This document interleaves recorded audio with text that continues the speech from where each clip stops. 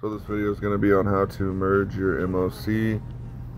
To do so, you are going to need a modded AA trailer.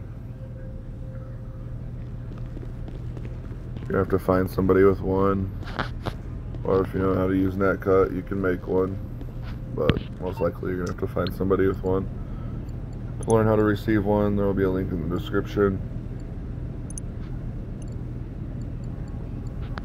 You can buy the AA trailer from the Warstock website. As well as the MOC. This is only going to merge to the MOC cab itself, not the trailer. Hey, boss. So you're gonna walk up to Chester over here and hit right on the D-pad. You're gonna go to your cab. You're gonna go to the secondary color of the cab. Gonna change one thing on it. Well, one color, I guess. Nothing. Looking good. But go ahead and change the secondary color. Go to your anti-aircraft. Change one thing on it. Then back out to the point where you're on this screen. Bring up your GTA menu. Find a new session. It's that simple.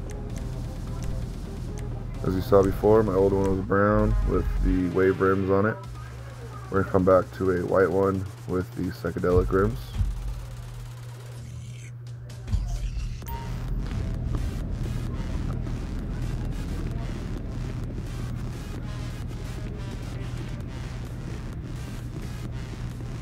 There you go. White with psychedelics. Super easy. As you can see, the AA trailer was white with psychedelics. You are going to have to color match the trailer itself on the cab. We did get that Yankton plate, as you can see. It's a Blankton, but it's there. Hello. So it looks kind of like a matte white.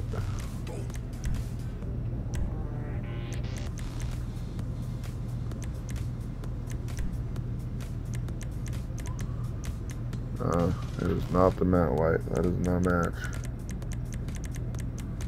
Alright. Looks like it's gonna be that frost white. That's And it's that simple, guys. Matching, matching truck and trailer now. It's gonna be it for this video. Thank you Time to guys. put her through her paces.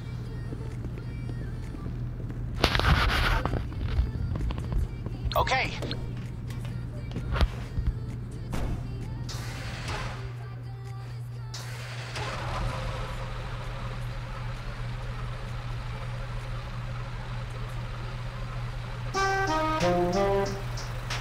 You.